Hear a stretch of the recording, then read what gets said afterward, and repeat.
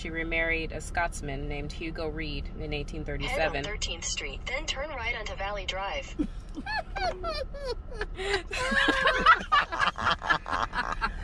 okay, cut.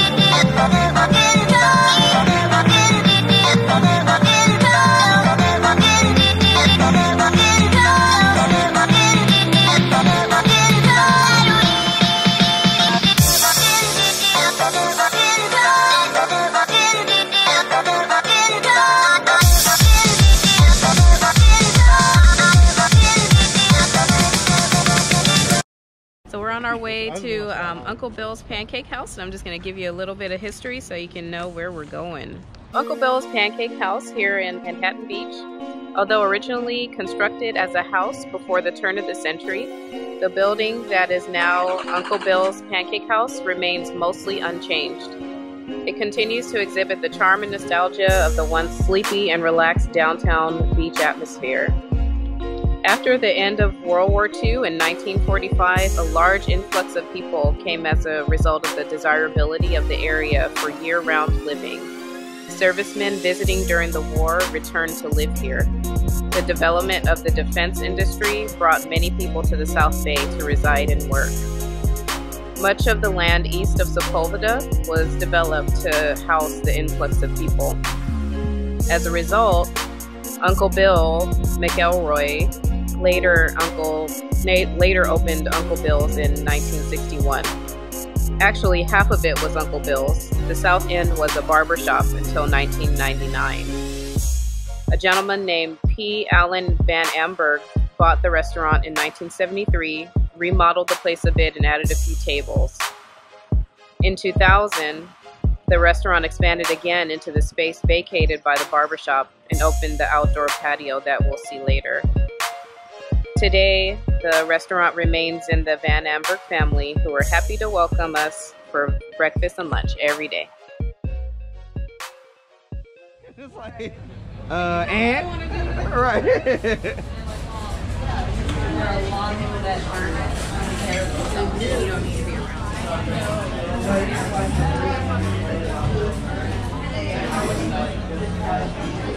Se puede. Mm-hmm. Sure you get my good side though. Oh yeah. Like, show me what, what side is Make it? sure you this right here. That's your good side. All right, we, we got you, brother. Thank you. Appreciate it. The Manhattan Beach Pier was built in 1920 and is a state historic landmark, as it is the oldest concrete pier on the West Coast. The pier was designed by A.L. Harris in 1916 to replace the old iron pier that blew down in the storm of 1913. There were several delays with the construction. The city trustees did not approve the plans until September of 1917. Construction was started, but then was delayed because the first contractor went bankrupt, and the project was later transferred to a second contractor who finished the main pier structure after World War I. The grand opening of the 928 foot long pier was finally held on July 5, 1920. However, the pavilion or the roundhouse at the end of the pier and the bathhouse weren't completed until July 1922. The bathhouse was located beneath the pier deck at the base or foot of the pier. This facility included bathing suit rentals, beach umbrella rentals, 360 lockers, and changing rooms. During the 1920s to 30s, visitors to Manhattan Beach came to experience a day at the beach or a day of fishing. The Manhattan Beach Pier was immediately known for its fine fishing. Many people rode the trolley from inland to catch large sea bass, yellowfin, and halibut. In 1924, a 200 foot long wooden extension was added to the end of the pier. It remained in service until it was completely destroyed by the winter storms of 1940 and 1941. The pier continued to be enjoyed during the 40s, 50s, 60s, and 70s. For the opening celebration of the 1984 LA Olympics, there was a July 4th tall ship parade of sail past the pier with a parade of both large sailing ships and small sailboats. There were thousands of viewers for that event. However, over the years, the pier has been subjected to large waves from winter storms, but perhaps none as fearsome as the waves that hit the pier in January of 1988. It was necessary to close the pier because the tops of the waves were sometimes above the deck level. The cumulative effect of the winter storms had badly eroded the pier. In 1984, a 150 pound chunk of concrete fell on a jogger, paralyzing him. A chain link net was installed to protect joggers, and a committee was formed to consider a restored pier versus a new pier with a restaurant on the end. It was ultimately decided that the existing pier would be structurally reworked. The California Department of Parks and Recreation was involved and acted on the recommendation of the Manhattan Beach Council in 1989. The resulting restoration was begun in February 1991 and completed in July of 1992. You turn around walking backwards. There's not much pressure on your front thighs. Now it's changing to your back thighs. Nah. But Really? Try it. no, Okay. focus. Johnny focus. Ah, Natalie has us walking up this steep incline. How you doing back there, baby? I'm breathing. There you go. This part is actually less of an incline than the other part where we. True, yeah. So. It's cardio in for the day out here. All right, getting all nice and sweaty. Jeez. And look, look where you came from. Look where the Lord brought you from. You still? But you're right. if you're in the area and you ever need a 24-hour eatery, you can go to the Kettle. They have American food. oh. San Marino is a residential city in Los Angeles County, which was incorporated in April 1913. With a median home price of $2.6 million, San Marino is one of the most expensive and exclusive communities in the United States. This city takes its name from the ancient republic of San Marino in Italy, founded by Saint Marinus, who fled his home in Dalmatia, which is now modern day Croatia, at the time of the Diocletian persecution of Christians. The city of San Marino in California was originally occupied by a village of Tongva or Gabrielino Indians, located approximately where the Huntington School is today.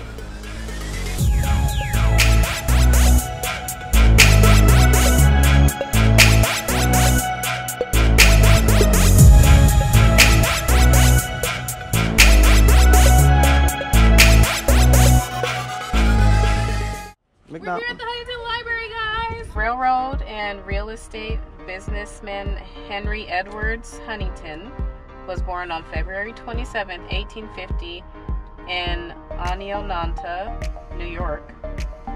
Henry and his uncle Collis P. Huntington were leaders in building the railroads that spanned the country. In 1892, Henry moved to San Francisco to represent Huntington's interests on the Pacific coast. In 1902, two years after the death of Collis, Huntington transferred his headquarters to Los Angeles and started to connect, consolidate, and extend the electric railway system in Southern California, also called the Red Cars. He had large land holdings in Southern California and numerous business interests. In 1903, he bought the San Marino Ranch, now the Huntington. He married Arabella Duval Huntington, the widow of Collis, in 1913. Together, they amassed extensive library, art, and botanical gardens that continue to evolve.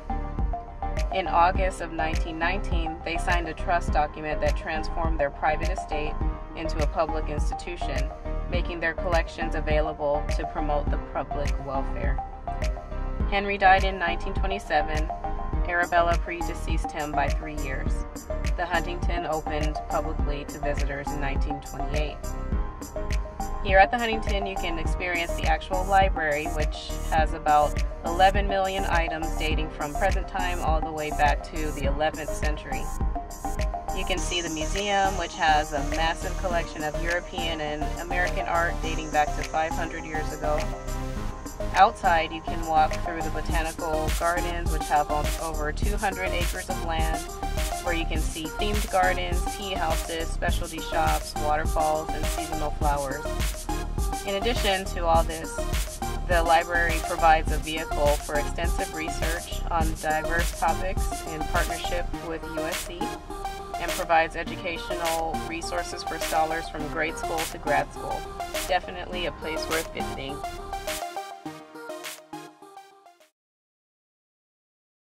So to my right here, we have um, the Orbit Pavilion. As you can see, there's some sounds coming out of there, and this sign here um, describes what those are. So this says, stand in the middle of Orbit Pavilion. The sounds you hear represent the location of NASA satellites orbiting and observing Earth's surface, biosphere, atmosphere, and oceans. Orbit Pavilion allows NASA's satellites to say hello as they move across the sky by pairing the live trajectory data of each spacecraft to artistically created sounds. There are two phases of the Orbit Pavilion soundtrack. The sounds in phase one represent the real time motion of satellites. The sounds in phase two include 24 hours of movement compressed into one minute, allowing you to hear a full day's worth of orbits. Don't miss the related Beautiful Science exhibition in the Dibner Hall of the History of Science.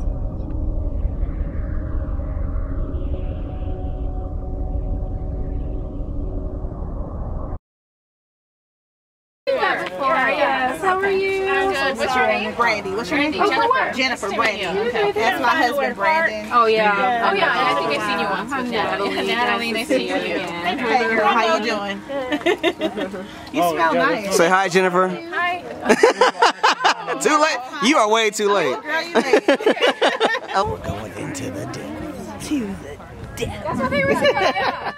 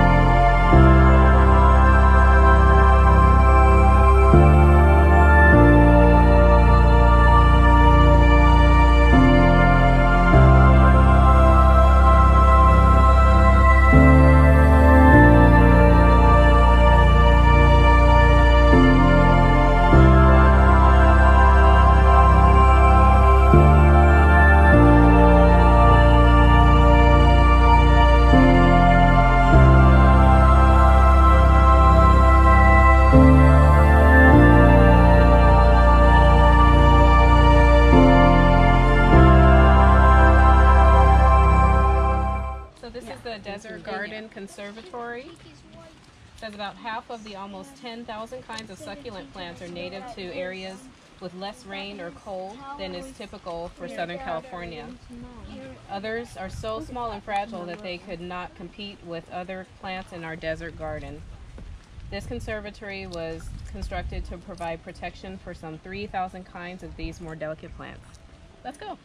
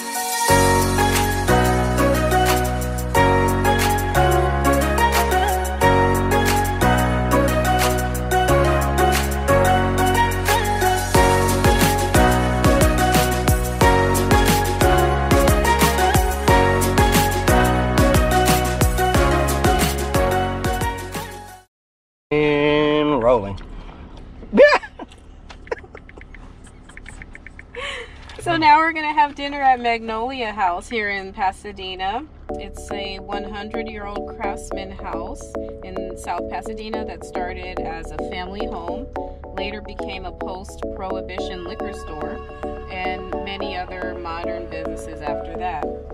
Now it's been reinvented once again into a neighborhood gathering place. Magnolia House now offers unique craft cocktails and a small plate menu